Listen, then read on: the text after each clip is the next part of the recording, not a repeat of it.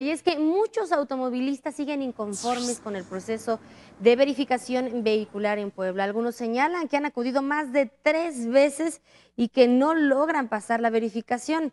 Aseguran que aunque han llevado sus autos al mecánico en varias ocasiones, no hay manera de aprobar la verificación, por lo que le están pidiendo a las autoridades que tengan parámetros más tolerantes para aquellos vehículos que son antiguos. Además, señalan que es necesario que se les indique en qué está fallando su vehículo para que ellos puedan reportarlo con el mecánico y no tengan que acudir a ciegas a darle mantenimiento y además, hay que decirlo, a estar gastando su dinero.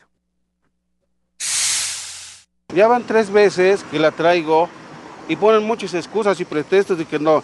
La camioneta ya la llevé tres, cuatro veces al mecánico, no está echando humo ni nada, ya se le cambió eh, afinación, bujías, aceite, todo, y, y, el mecánico dice que está bien. Le pido una explicación al señor de la computación y, no da ninguna explicación.